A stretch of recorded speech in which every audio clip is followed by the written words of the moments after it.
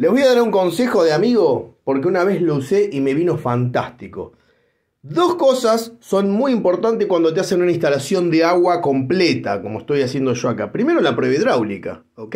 La prueba hidráulica garantiza que no tenga fugas a futuro porque se le pone una presión mayor a la que hay convencionalmente y en condiciones normales, con lo cual decís, bueno, si ya con esto no hay fuga, listo. Este, esto no asegura, no asegura que te queden mal hechas las termofusiones adentro, me refiero con el caño cerrado, pero sí te vas a asegurar de que no haya fugas en las uniones y todo eso.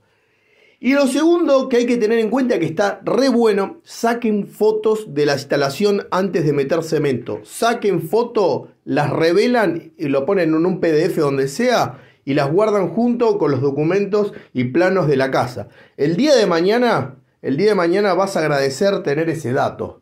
¿Sabes por qué? Porque si, uy, tengo que poner un tornillo por acá, ¿dónde estaba? Ah, estaba acá. Con medidas, ¿no? Agarrar la cinta métrica, si hasta el piso hay tanto. El día de mañana vos tenés que poner un tornillo y sabés que acá no lo tenés que poner, acá no lo tenés que poner, ¿entendés? Es muy bueno eso. Entonces, sacan fotos, sacan fotos, las revelan y las adjuntan a los planos de la casa. ¿Está bien? O hacen los planos, hacen los planos en AutoCAD, como más prefieran. Esto es lo más rápido, digamos. Pero es muy útil eso, es muy útil porque el día de mañana me dices, ah, acá había una unión, que esto, que el otro.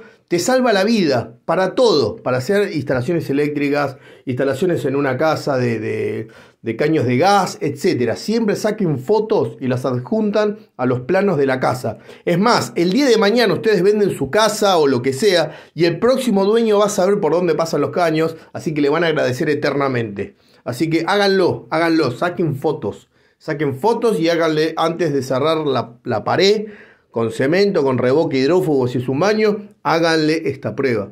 ¿Ok? Nada más.